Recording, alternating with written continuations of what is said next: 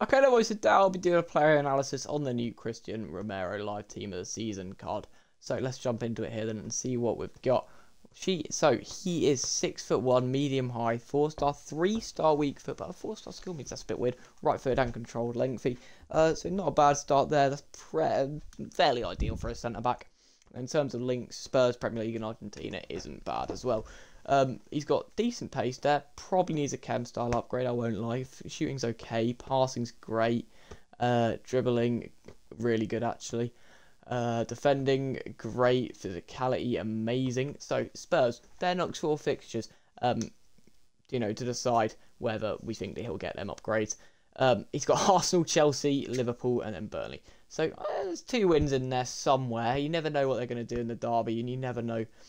Um, yeah, you never know what they're going to do in the derby, and maybe they might cause them. Maybe they might get a win out of Chelsea and a Burnley. Um, I don't think they'll get that eight goals though. Uh, defending, he's got really good play styles. Jockey, intercept, anticipate plus, slide tackle plus, bruiser, long ball pass, power header, aerial, technical, insane play styles, insane stats, and a possible upgrade of one, all at a price of 631k. I mean, it's an insane card. Um, but do you want to be paying that much for a centre back? And I think the answer is yes, boys. I think that's really, really good price.